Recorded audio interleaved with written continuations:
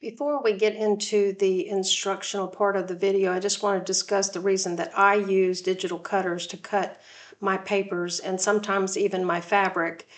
It's because I want to be able to choose the type of paper or material that I'm going to be using for my templates.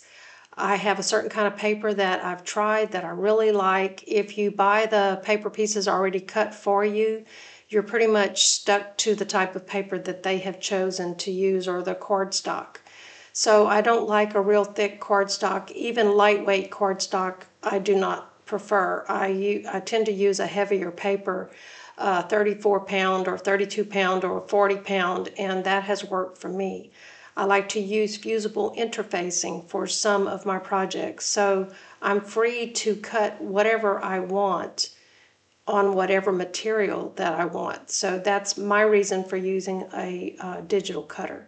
So uh, there's some of them that have come way down in price, such as the Cricut Joy, that does a really good job of cutting cardstock and even Quilter's template plastic.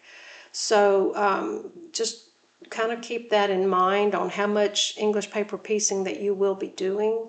And um, of course, you can still cut them out by hand, but um, if, if you can afford to look into a digital cutter, this is really going to uh, help you to customize your patterns. I'm doing a series of videos on how to draw English paper piecing shapes that will work with a hexagon. I, have done the Cricut design space, which is already uh, posted. I'm going to do the Brothers ScanNCut.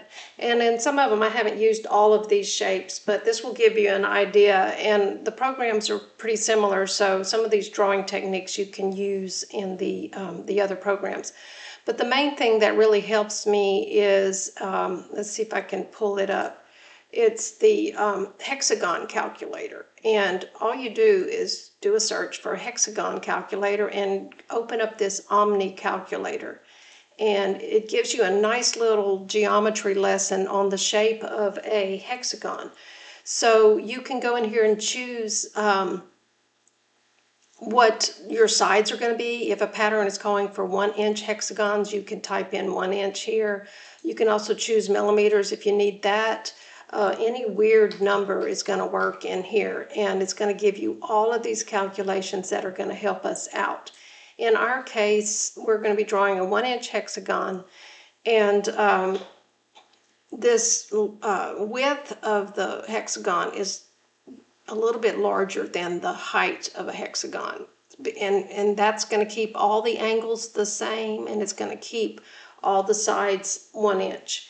So we have to know these numbers in order to uh, check ourselves when we're drawing the, um, the shapes and uh, we have the short diagonal and this other uh, measurement down here that's from the middle of the hexagon to the short side. So you can study this little picture and get an idea of the um, the shapes that or the sizes that you need to uh, I'm sorry the dimensions that you need to check every time you draw a shape. So I'm going to pull this off to the side onto another monitor that I have here so that I can refer to it as needed. And um, you can also just do a little screenshot of it and keep that little um, picture ready for you. So today I'm using the Silhouette Studio Business Edition. So if you're using the basic um, Studio uh, Silhouette Studio software that came with your cutter, uh, you may not have all of these tools. Um, for instance, this one you can export to an SVG if you want to uh, use it in different cutters.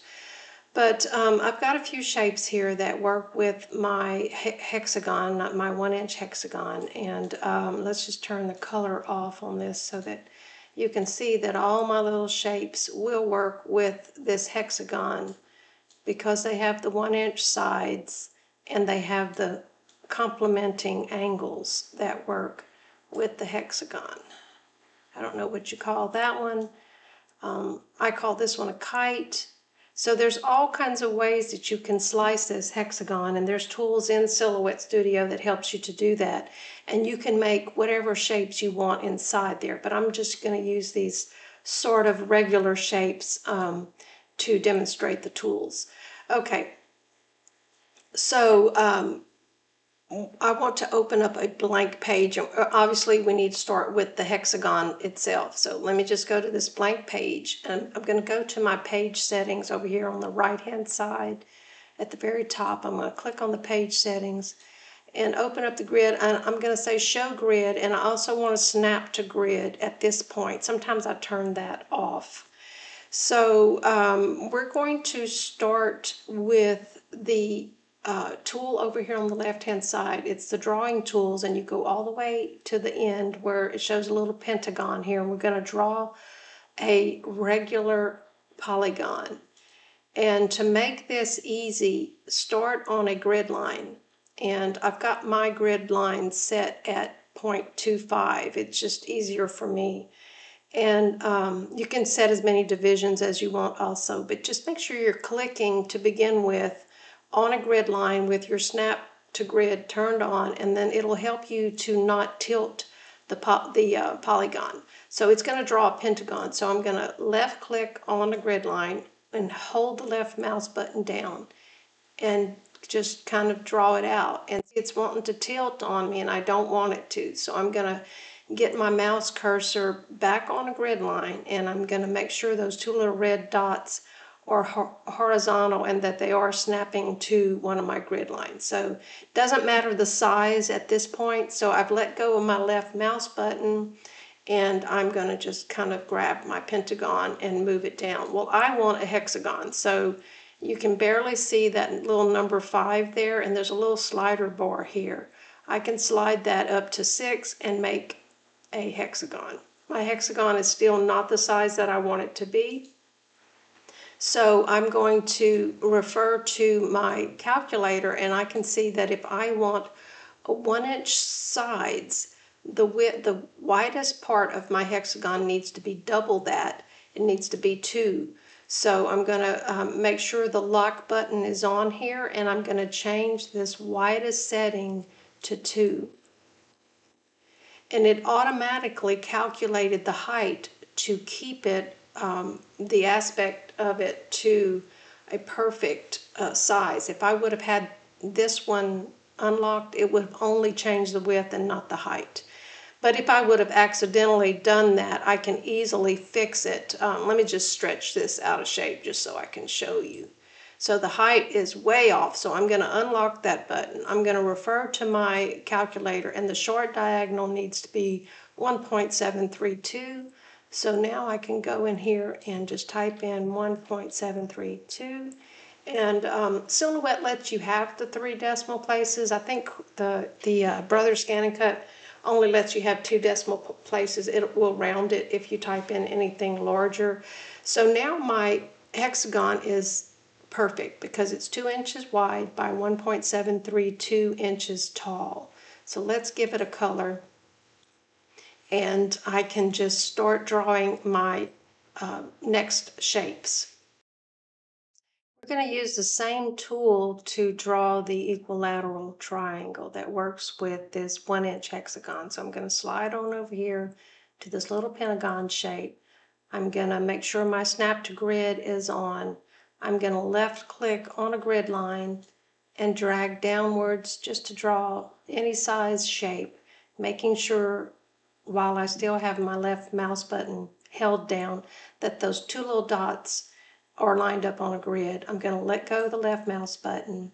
I'm going to drag this to where I can see it and I need a three-sided polygon because we're drawing that triangle. So I'm going to slide this down to three and put a color on it so we can see it better.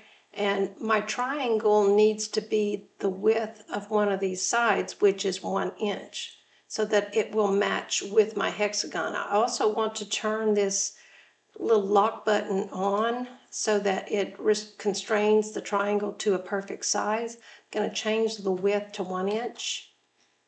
And you can see that the height is 0.866. And let me show you that on the hexagon. Let me turn off the snap to grid. And it's going to go from the middle of the hexagon to one of these flat sides. So if you look at our little diagram here, that's this measurement here that's represented by the letter R. and it's 0.866. So checking my triangle, I'm looking that my size is perfect. So I'm good with that one. And this one can also be sewn to the outside of the hexagon because the sides are equal. So we'll get to our next shape. At this time, let's draw a little diamond shape. So go over to your left-hand toolbar here and this uh, little shape menu, uh, they call them flexi shapes. Um, let's choose a, a diamond shape. And again, I'm going to snap to the grid. I am going to start drawing with my left mouse button clicked onto a grid line and I'm going to drag downwards so that my um, diamond doesn't tilt. And then I'm going to let go of my left mouse button. And then I want to play with the measurements of this diamond. So as you can see, it's not working with the hexagon. So we can tell by looking at it that it needs to be half of this distance of the hexagon across this way.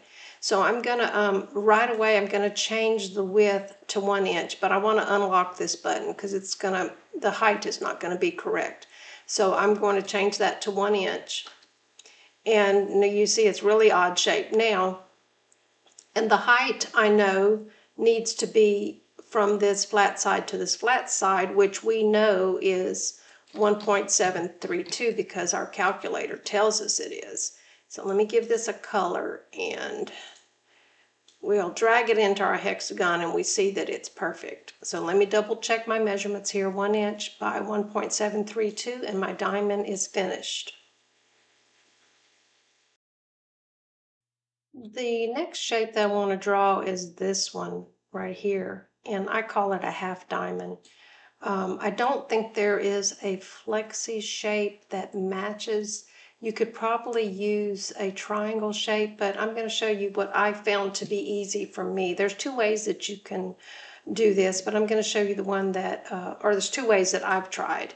Um, so I'm going to take this diamond, uh, highlight it, and I'm going to press Control D to make a copy of it. Let's make it a different color. And um, I'm going to use the knife tool but I want to make sure my snap to grid is turned on and I want to make sure that uh, rather than trying to, well, I can actually line it up on one of these blue lines here. I'm, I'm trying to line up the middle of it on one of these blue lines and it seems to be snapping correctly. But you can also use your XY coordination here, and I can change that to an even number just so I can make sure it's perfectly lined up on the grid. And then I can uh, come over to the left-hand toolbar and choose this knife tool. I want to make sure this solid is turned on so that it'll tell you what it is. If you if you choose the outline tool, let's see if it'll give me the little pop-up um, when using the knife tool to cut an unfilled closed shape, treat that shape as solid, um, so on and so forth. So I'm choosing the solid and I'm going to come up here on this um, grid line and I'm going to left mouse click and drag down right through the middle of that. And see you don't want to go off to the side you want to stay straight down the middle. And I'm going to let go my left mouse button and now I have two pieces here. And um, I don't need both of them, so I'm just going to delete one of them. And then I'm going to check the measurements on this one. So I can see that my height is not correct, but the width is correct. So since this was one inch wide, I need this to be one half inch wide. So that is correct. So with the little lock button turned off, I'm going to change this just, just so I can be obsessive about it, 1.732 and there's no visible change, but it's going to make me happy that it matches what my calculator says. The other way that you can uh, draw a polygon is there is a um, polygon tool here where this little line is. Choose polygon and you can actually click. This kind of makes my hands hurt to do this and click let me back up on this, escape on that. Let me turn off the snap to grid and enable smart snapping. I'm to turn the grid off, choose this. And this is a tool that's really great if you want to make really weird shapes inside of your hexagon. And you can just trace it out. To me, this is just, I don't like doing that. But just to show you that you can. And then you can check your measurements as before, and it's slightly off because I didn't click in the right place. So you can see it's more accurate using the knife. And so I've gotten, uh, I've gotten a pretty good, I've gotten a pretty good shape here that will work with my hexagon. But I don't like using that tool. So you try it out and see which one you like the best. So now I've got four shapes made. All right, um, let's see, what do I want to draw next? Let's do this one right here. Um, we'll go over to the um, Flexi Shape menu. I want to choose that one. I want to make sure the Snap to Grid is on, and I'm going to show the grid. I'm going to left mouse click and hold the left mouse button down, I'm drag right on the grid line. And you're going to go down and out. And it doesn't matter the shape at this point, as long as it's not tilted. Let go of my left mouse button and I'm going to give this a color. And I want to change the width because we can easily see that the width of this needs to be this way on the, the uh, hexagon. So I know that number is 2. So I'm going to leave the little lock button turned off. I'm going to change that to 2. And I know that the height of this thing needs to be this measurement. That's half of the hexagon, and my calculator tells me that that should be 0.866.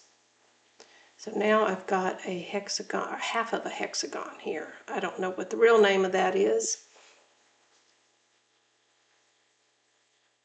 We can look at the, um, the layers, and I think they call that a trapezium. All right, so that is the uh, half hexagon. There is a flexi shape that sort of looks like this one, but I find that I have to do a lot of dragging of the, the um, let's just draw it out. I'm going to click on a grid line here. I find that even if I change the dimensions of this thing using my width and height, I still have to drag, do a lot of dragging with the angles and all to get it perfect, and I don't want to fool with that. So let's just delete this and I'm going to make a duplicate copy of my hexagon. I'm going to press Control D and then I'm going to slice it the same way I did the diamond. So I want to make sure that I am lined up with the grid on one of these sides here. Let's snap to the grid. That's what's going wrong with me for me. So let's just make sure that it lands right in the middle of one of these blue lines. Right in the middle. I want to make sure that I'm snapped to that grid. I'm going to grab my knife over here on the left hand side and I'm going to do just the same thing I did with the diamond, making sure my line is straight and then let go of my left mouse button. So I'm going to get rid of one of these and change the color and I want to check my dimensions. So I can see that it's 1.732 tall and it's one inch wide. So that's what I want. I wanted it to be exactly half of my, um, my hexagon. And you can also make a, uh, more of a house shape by um, making this another half inch wider so that it fills up more of the hexagon. But this is what I'm staying with today. All right. All right, the hardest shape for me is this one right here because I, I'm not comfortable using the flexi shapes to do it, but we'll start with that and you'll see that I will struggle with it and maybe I'll do good this time. So I, first I want to turn on the grid and click snap to grid and uh, show the grid. and I want to choose that kite shape.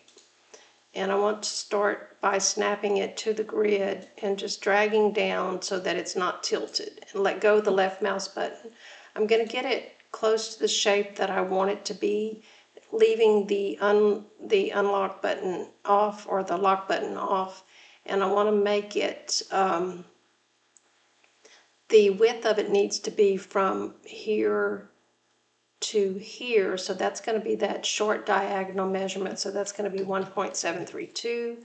And the height of it needs to be from here to here because it's going to be tilted on this hexagon. I know it's hard to visualize it here, but trust me, the height needs to be two. All right, but the angles, these two sides are not going to be correct, and you'll see, let me see, I think I need to tilt that 30 degrees. So I'm going to choose this transform menu and click on the rotate button and rotate it 30 degrees. Yes, that's correct. And um, if I slide it into the corner up there, you can see that the sides are not correct. Um, I can go over to the grid here and turn off the snap to grid. I'm not going to show the grid because I find it easier without the grid on. I'm going to leave that checked, uh, uh, smart snapping. And I want to try to line up their points right here. And this is where I struggle, is I can't really tell if I've got it correct. So I'm to choose this little zoom tool here and just get right in there. And select my kite again or my hexagon. I need to move this one back. And I mean, it looks like it's in the corner, but here, here's where I struggle. I don't, I'm not 100% sure. So the beauty of the flexi shape is you can drag these anywhere you want them and uh, these two corners will follow each other. So I can grab one of those corners and hope that it snaps to the corner of the hexagon. And I can tell it's off a little bit.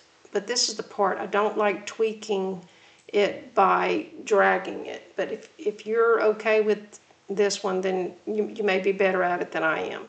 So I'm think I'm on point with that. So I'm going to select the um, height that I just drew and look at my measurements and they are off.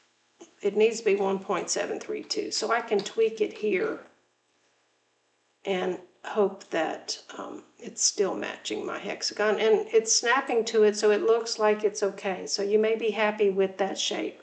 But I want to show you another way to draw this kite.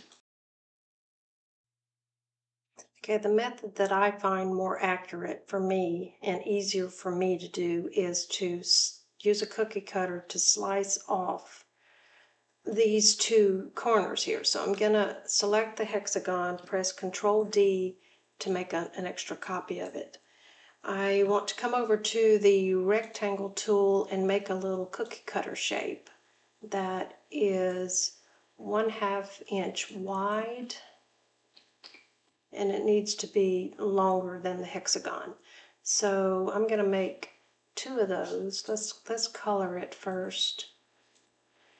I want to duplicate that one because I need it two, two slices. So I'm going to press Control D so I have an extra copy of it. So I want to line this up on the right hand side of my hexagon. So I'm going to select both of those and come over here and choose this alignment tool to the right. And then I can choose my um, modify panel over here on the right and choose subtract. So that has sliced off one side of my hexagon.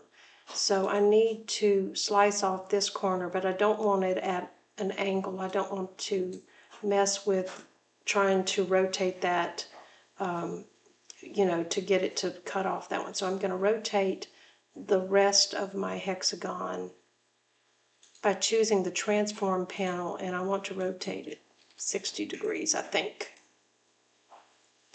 and I want to align this one on the left hand side. So I'm going to select both of those and use the alignment tool up here to the left hand side go back to the cookie cutter and subtract.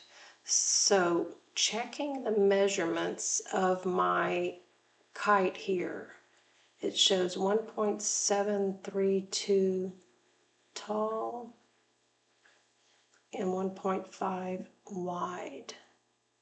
So let's check it with the kite that we drew before, and that seems to be correct. So those, those are two different ways that you can draw that kite shape that will work with your hexagon. And you can see the sides match over here and it meets up in the in the point and it will work with other shapes that we have drawn in the program. Now for changing sizes, um, we'll go back to our calculator here and let's say I want these to be 1.5 inches sides. Um, then I've got all my measurements here that I can refer to. I've got the other one memorized. I don't have this one memorized, but I'm going to keep it handy so that I can refer to it. So I'm going to go to my hexagon first, and I'm going to, this one's easy because all I have to do is lock the button and change it to, since my sides are 1.5, I need the width to be 3 because it's double. So now my hexagon is uh, now the one and a half inch sides. So I can go through each one of the pieces and change these measurements. So I'm going to leave the lock button on throughout so that um, I can get these measurements. So I'm referring to, I'm going to change this 1.732 to the uh, short diagonal measurement that I'm looking at on my uh, Omni calculator to 2.598. And it's going to make the height the perfect size for my hexagon. So I'm just going to go through all of my shapes. I'm going to delete this one to get it out of my way. And um, same thing on this one. I'm going to use that short diagonal measurement. So now this one is correct. This one needs to be, I'm going to change that same measurement again, 2.598. And this one is good. And this one I'm going to change the 0.866 to this measurement right here. So it's the 1.299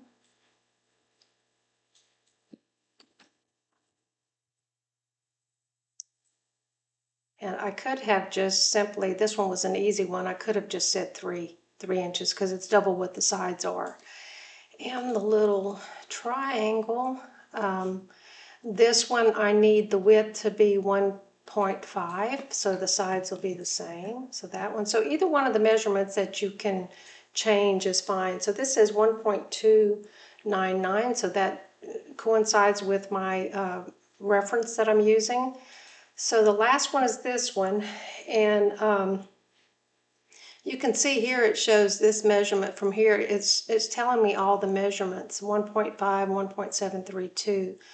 So let's change, um, let's change this one again. Let's see, I'm typing in the wrong numbers here. 2.598. This is my crazy shape that drives me, drives me crazy, but I think I did it right. So there now I have all the pieces that'll work with a pattern that calls for a 1.5 inch sides. So this is, you know, to me, the key to this whole thing is this calculator because it keeps my pieces to the right dimensions uh, so that they'll all work together perfectly. So um, hopefully this will uh, help you to um, draw your own shapes and use cookie cutters and that kind of thing.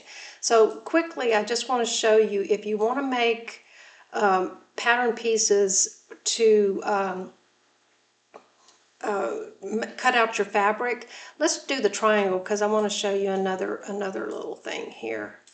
So you can do it with all of these shapes but we'll play with the triangle. You just go to your offset menu and select it and then I want an outer offset. And I like a 3 8 inch uh, seam allowance on larger pieces. If it's smaller pieces, I'll do a quarter inch seam allowance and I want sharp corners. And you see how they, it kind of guesses where you want to whack off the corners. And that's a technical term, whack. Well, if I want the corner to be cut a little bit closer to the points here so there's not so much fabric here, I can come over here and um, decrease that to say 0.375 and it kind of cuts off a little bit more of that corner for you. So now when you send this to the cutter, um, this would be your fabric piece right here and this would be your paper piece. But if you want to create a little template, I'm going to center those back again with each other. Oops, that's not what I wanted to do. Right there is what I wanted to do. I'm going to group them together. And when you send this to the cutter, it's going to cut this little window out. So you'll have a little template that you can cut out on heavy cardstock or, or even I've used um, Quilter's template plastic to create my own templates and I've cut them out with my, um, I've used my Cricut. I haven't used the Silhouette, but it'll be able to do it too. So it, um, it, it has no problem cutting through that plastic. And you'll have a little windowed template that you can use to do some fussy cutting. So um, the, it's a great tool to create custom shapes for English paper piecing. So I hope you enjoyed all of this and I uh, hope it helps you to uh, make your own pattern pieces.